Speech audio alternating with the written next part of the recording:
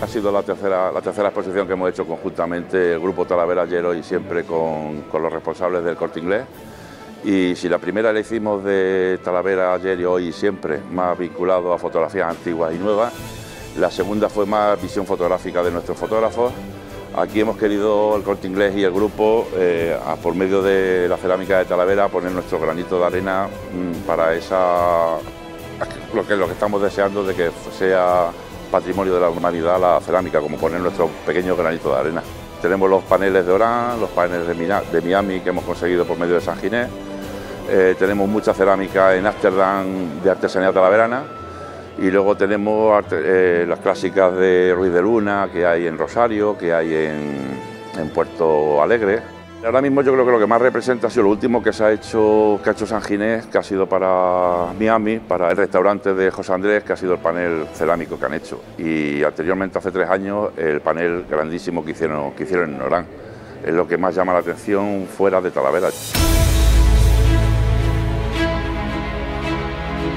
Talavera es un gran museo de cerámica y no hay una sola calle en la que no se pueda encontrar algo de cerámica que sea representativo del arte de Talavera.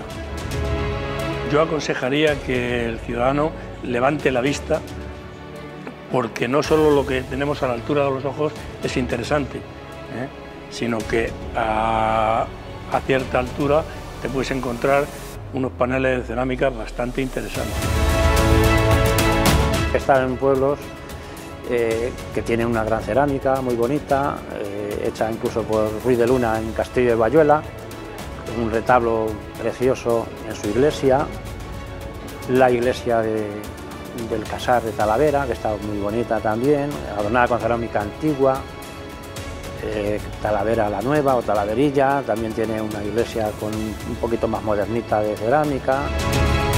Mi cerámica es una cerámica basada en el realismo buscando siempre la máxima perfección, dentro de lo que es la cerámica clásica, como puede ser el Renacimiento, las monterías, eh, las flores, todo dentro de eso, siempre intentarlo, mm, darle, llevarle un poquito más. La fotografía puede ser el mejor arma para la promoción de la cerámica de Talavera o de otras muchas artes, pero de la cerámica precisamente de Talavera creo que es el mejor arma que tenemos aquí en Talavera. Aquí tenemos una buena muestra.